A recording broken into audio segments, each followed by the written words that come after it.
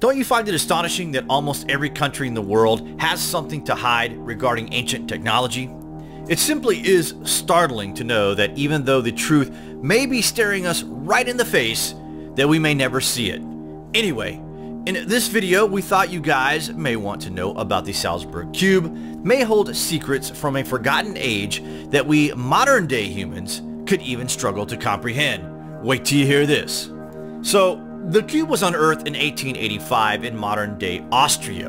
Upon cracking a seam of coal, an Austrian miner accidentally discovered one of the most remarkable artifacts. Basically, an iron cube was recovered from inside the coal. It had many cracks and little holes in it, as well as a strange color. The Natural History Museum in Vienna concluded that the cube was of artificial origin from an unknown source and was no less than 60 million years old. Does that not just blow your mind or what? How could a piece of iron have been carved millions of years before the first humans walked the earth?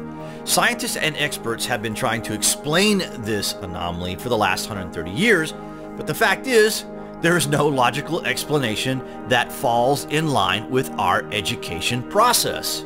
Initially, the object did not seem remarkable, but it did seem to be purposely carved from a single piece of iron ore this in itself was unusual, and it was later estimated that the coal that had completely surrounded it was at least 60 million years old. Crazy, right? We are ignorant, but surely we must appreciate that on the grand scale of time, that we are nothing but a small dot on a white sheet of paper. Something like that anyway.